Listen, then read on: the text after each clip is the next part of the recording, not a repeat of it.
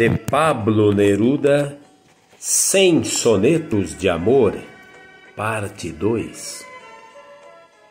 Amor, quantos caminhos até chegar a um beijo, que solidão errante até tua companhia. Seguem os trens sozinhos, rodando com a chuva, em tal tal não amanhece ainda a primavera.